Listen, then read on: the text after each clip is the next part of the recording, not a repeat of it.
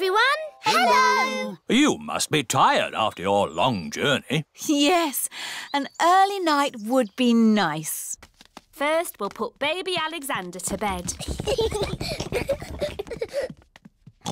this is baby Alexander's bedroom. Peppa, George, you're staying in my room tonight. Oh, goody. Scream and run. Peppa and George are excited to be sleeping in Cousin Chloe's bedroom. Everyone is asleep. Baby Alexander is awake.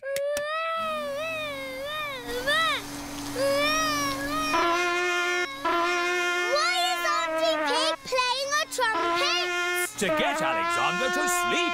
The more noise, the better. We do find noise is the best way.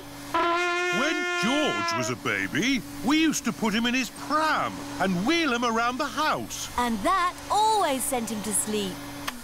How strange. No loud noises. That's right.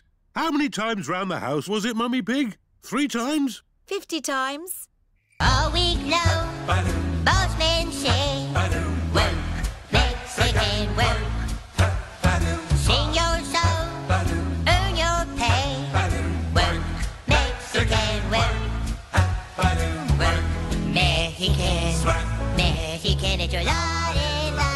While people play in the sun all day. Work, Mexican work. Good. Baby Alexander is asleep. Can you let me back in? Switch the alarm back on. Peppa, what are you doing up? I can't sleep, Daddy. It's a noisy night. OK, Peppa, let's get you back to bed. Now, which bedroom are you staying in? Stop, Daddy! That's baby Alexander's room. Ah, The light has woken baby Alexander. It's all right. I've got the vacuum cleaner. I've got the trumpet. Stop! Stop! I remember another quiet way we used to get George to sleep. oh yes! We drove him around in the car. I'll get the car started. Don't forget the alarm.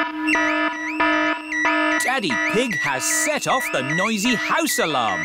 The noisy house has woken everyone up. Nice. Peppa Pig. Peppa Pig. Peppa